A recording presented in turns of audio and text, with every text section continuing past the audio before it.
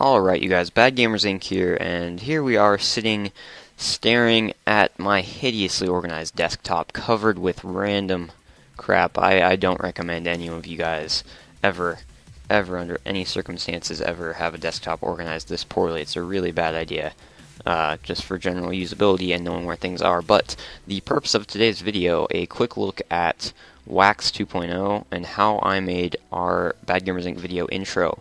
So I had the video, um, it's called like new intro or something up on YouTube, and that's been up for several months. I'm not going to go ahead and check right now while I'm recording, but um, I posted a comment saying I was going to upload a how-to video. Never got around to that, but I've been getting a couple questions from friends, and so I decided to end up um, actually making that video. So that's what this is about.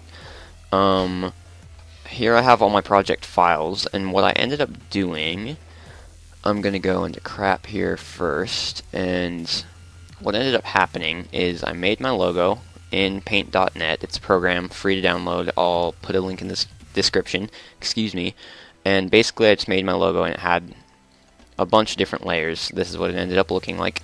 I liked it, it turned out well.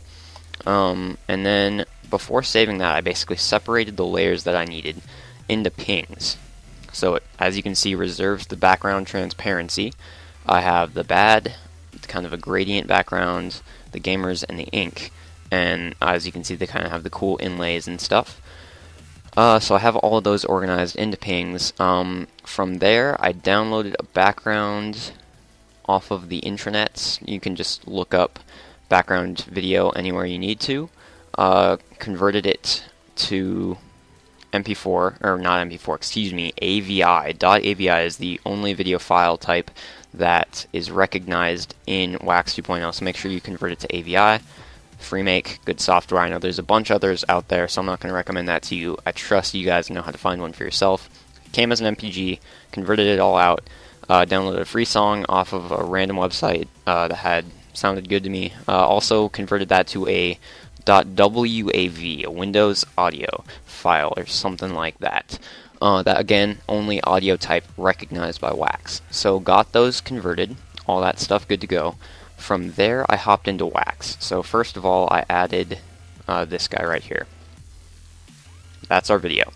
It's It was a lot longer, it was like 30 seconds, so I trimmed it down to 8 seconds, which ended up being my uh, time that I was working with. So we're going to make that appear again. As you can see, I didn't do anything with it. Uh, but then I added, and if we go forward in the video, you can see, that's my composition, sorry.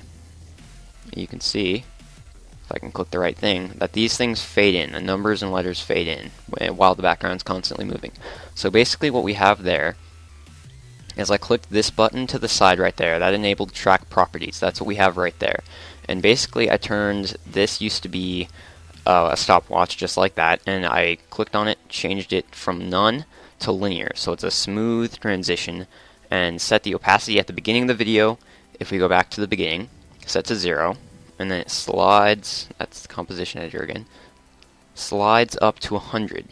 As you can see, that bad reveals. So that's what that's controlling. Um, as you can see, I also did that for, excuse me, that's the wrong thing, gamers and ink. So that's common for all of these. Uh, also did that for the background, uh, whatever it's called. What is this? Oh, that's the circle trend. That's the thing. Circle gradient flare that I had going on. Okay, so back to the beginning of my track. Excuse the dogs barking in the background. Um, I applied a video plugin general 3D, I don't remember where exactly, it's just in general 2D video plugins. I applied a quick 3D modifier to each of my things. And basically what this allows you to do is change a bunch of things very quickly. Very simple. We've got scale X, scale Y. Um, I'll skip through the video so you can see what this kind of controls. And I have this guy hiding, so let's make that appear again. Um, boop. Click the arrow down, you can hide it, all that stuff. Fairly simple. Uh, basically, what I ended up doing is you can see how, how that does stuff. So, fairly simple there. uh, what I ended up doing is I keyframed these again, and all I had to do was keyframe specific things. So like this, I keyframed, um, we'll go right here so you can kind of see what I'm modifying. Uh, the rotate X, which as you can see pivots it on that axis, so I can have it kind of swinging up from the bottom. I have it rotate from 90 degrees, so completely on its side, facing upwards to, is pointing to the left, and have it rotate out to 0 degrees. So upright. Um, then for position X and position Y, basically that just has it moving in. Um, that's actually what allows the swinging motion, so otherwise it would just be rotating. So we have a fade in, which I already explained, a rotation, and a movement from left to right, that's the uh, position X modifier, and a movement from bottom to top, which is a position Y modifier. So as you can see, these just slide uh, from lower to higher along this keyframe. And I kind of applied that same concept to the other ones, but I varied it a little bit, and I need to have that clicked for all of these, because that's what allows the opacity to change, the fade in, if you will. So here we just have position Y, so if we look at, at excuse me, this is gamers. If we look at the gamers, we can see that basically all it does is it's rotating down, basically kind of from the top. And that's going to be a rotate Z, I believe. No, that's a rotate X again, I suppose. So if we look at what that's doing, basically it's rotating about the x-axis, which is the one that runs from left to right on the sides of the screen. So as you can see, it, it kind of looks like it's rotating in front of us. Um,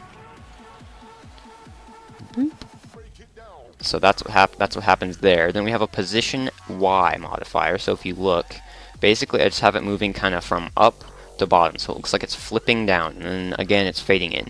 So uh, just play with these, kind of vary them a little bit so it looks like each letter is doing something different if you're following what my intro is trying to do here.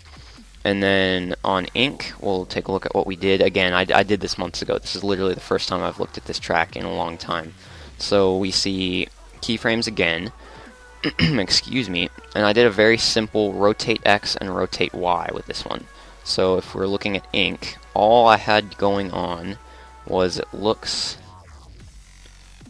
like rotating Y with the X axis kind of rotated. It's hard to tell, but um, it's rotating around the axis that goes from the top of the screen to the bottom of the screen.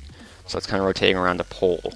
Um, so that's what that is. And then on rotate X, or no, we actually had to rotate Z.